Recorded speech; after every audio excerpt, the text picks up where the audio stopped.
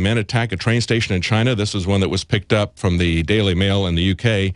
Uh, we had it on InfoWars this weekend. When I went to China with my family to adopt my daughter, we made the mistake of trying to travel internally in the country on a train.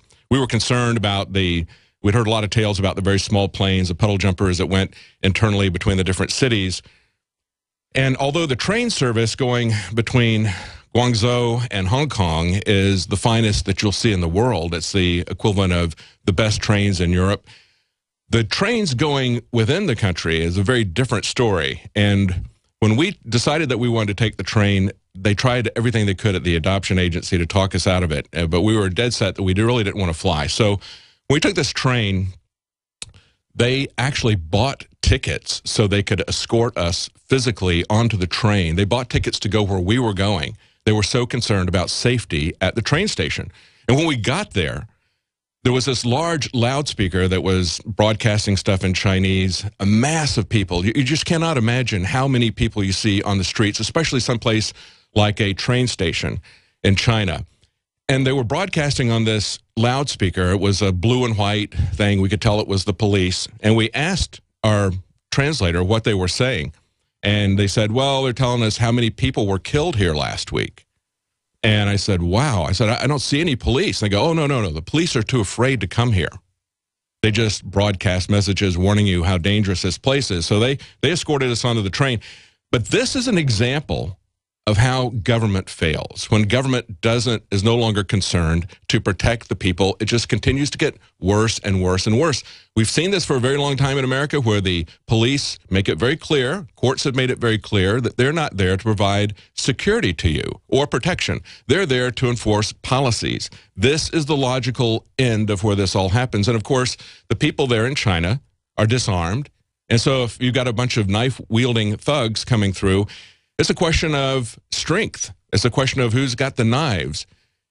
Guns are an equalizing factor for the population. We've seen some police chiefs, like this one police chief who was is now the police chief in Detroit. He came to this conclusion. He was a police officer in California. He was all for gun control. He got converted when he went to Maine and saw that he had a lot of farmers that were licensed to carry guns, that had guns. They were widely used, very low crime. He saw the sense of that, and now he sees the sense of it in Detroit.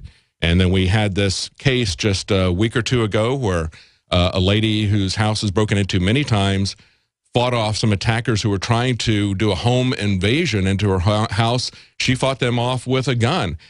It's the equalizer. The gun is an equalizer for someone who is a female, someone who is weaker than someone else, someone who doesn't know martial arts. It's a way that you can equalize it. It's a very important thing. It's one of the reasons we need to have it. Another reason we need to have it is so that we don't have a tyrannical government. I don't know if you're a Prison Planet TV subscriber. If you aren't, you ought to be. Last week, I talked to the Ukraine Right to Keep and Bear Arms Foundation. Actually, it's a Ukrainian Gun Owners Association. I talked to him, and, and the quote that stuck out the most for me from that interview was he said, if you lose your guns in America, you will wind up like the Ukraine. That's right. You're going to be stuck between oligarchs and globalist bankers and you're not going to know who's the who the players are. You're just going to have endless corruption. Nothing will happen. The government will not be afraid of you. That's the situation that's in the Ukraine. The people took to the streets about the corruption of course, there's other elements that are being involved there, and we know that there's there's a Western influence in there that's trying to undermine and trying to create tension. And of course, there's a lot of things that the military-industrial complex would like to see come out of this. Maybe they don't want a war. Maybe they just want another Cold War where they can ramp up the military spending like they had before the Soviet Union lost its credibility as a threat in 1989. Here's some other articles that we're coming to. One third of Americans say that Obamacare – had negative personal impact. Nearly 60% say that they view the law unfavorably.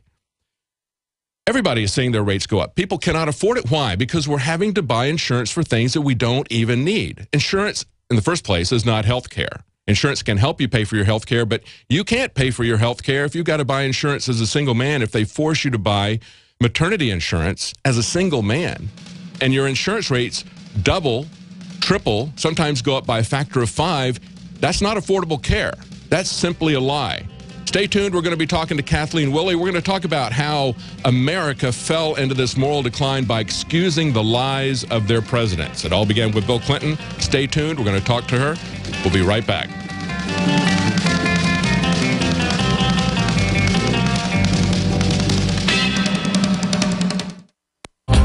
Has the perfect piece of gear for your bushcraft pack or bug out bag. CanteenShop.com. Want to be able to start a fire in any weather? CanteenShop.com. Need a well built handcrafted knife that'll be passed down for generations? Get to CanteenShop.com for the best selection of high quality hand picked gear from over 20 small U.S. businesses and big name brands to bring you the best that the bushcraft survival world has to offer. CanteenShop.com. What's missing? What's missing from your kit?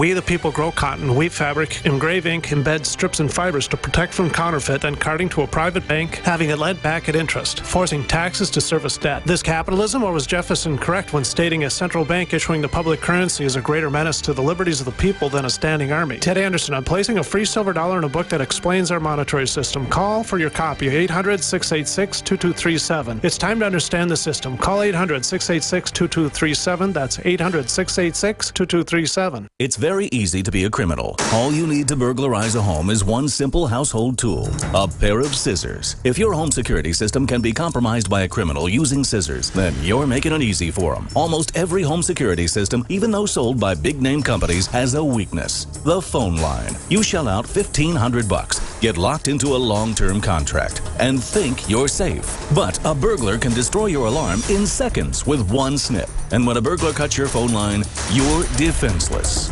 SimpliSafe Home Security is the smarter choice. Built by Harvard engineers, SimpliSafe uses a wireless connection to call the cops. Scissors can't cut it, and that means your home stays safe. 24/7 professional monitoring is under $15 a month with no contract. SimpliSafe Home Security keeps you safer than the other guys for half the cost. Protect your home with the alarm you can trust. SimpliSafe. Go to getsimplisafe.com now for an exclusive 10% offer. That's getsimplisafe.com. Question Could too many GMO foods and toxins be overloading your digestive and immune systems? Answer Yes. If you're searching for a powerful detox that's gentle enough to use every day, use Pro EM1 from Teraganix. Pro EM1 is a powerful liquid probiotic that uses good bacteria to suppress pathogens and gently eliminate toxins from your body. A healthy digestive system will cleanse and remove toxins, support weight loss, improve absorption of food nutrients, and aid in controlling yeast and other infections. Pro EM1 is made with only non GMO and certified organic ingredients, has no preservatives, and is dairy, soy, wheat, and gluten free. Pro EM1 is the key to your digestive health. Order Pro EM1 Daily Probiotic Cleanse at Teraganix.com, spelled T E R A G A N I X.com, or call toll free 866 369 3678. That's 866 369 3678. Also available through Amazon Prime. Pro EM1 from Teraganix. Life's getting better. Hi, folks. Alex Jones here with some important information. I want to tell you about Matt Redhawk and his team of patriots over at My Patriot Supply. Several years ago, Matt was sitting in his two-bedroom apartment, frustrated with the direction this country was headed and the charlatans willing to sell us out for a quick buck. Deciding to take action, a company run by patriots for patriots was born. My Patriot Supply has never taken a loan or accepted outside funding. They now operate two distribution facilities and employ over 50 hardworking American men and women. It is rare to find companies who practice what they preach. And that's why I stock my pantry with high-quality storable foods from My Patriot Supply. Go to mypatriotsupply.com forward slash Alex today for special offers on emergency food storage or call their preparedness specialist at 866-229-0927. That's 866-229-0927. Do business with someone who shares your values. mypatriotsupply.com slash Alex.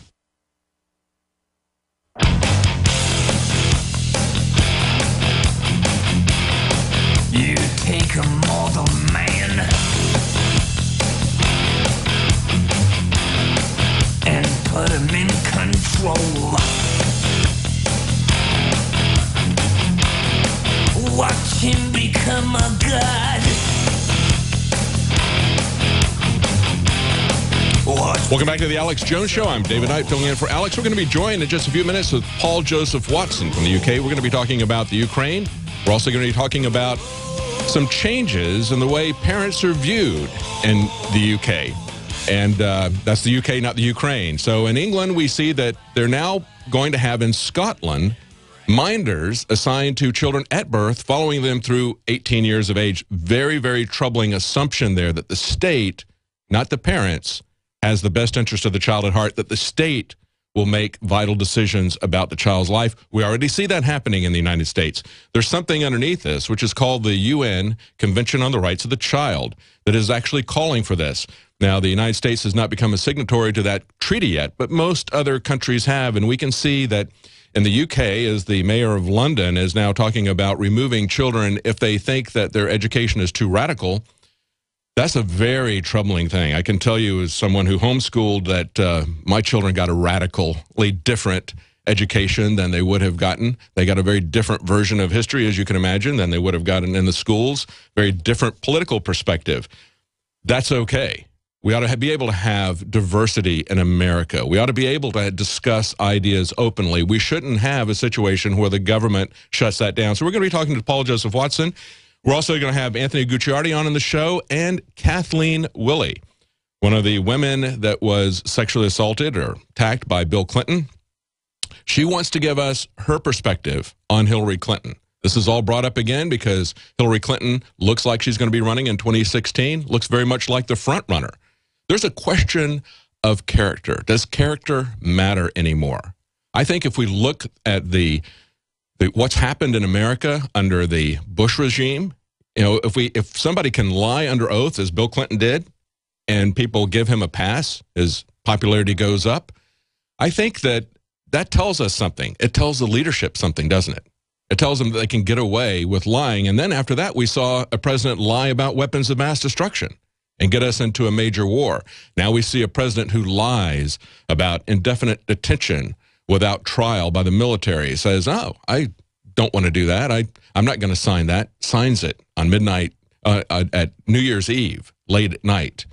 Says, "Don't worry, I'm not going to use it." So I guess we can trust him after he's lied to us twice already on that. We see him using the IRS and the FBI against his political enemies and doing it openly, continually to do it after it's been exposed. See, Nixon and other presidents have done it, but they've done it covertly. When they did it and got caught, they got impeached. They got thrown out of office. Actually, Nixon resigned because the handwriting was on the wall. He was going to get thrown out.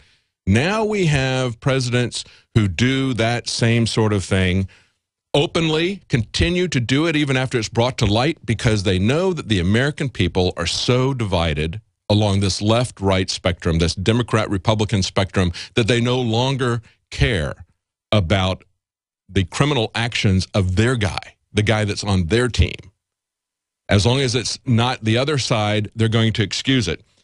Let's take a look at some of the other articles that are up on Infowars.com. We've got Obama now brandishing his phone at Putin. This is pretty funny. There was a, a White House photo that was tweeted out where he looks like the man in charge. He's wearing denim shirt and denim pants. He looks very Reagan-esque.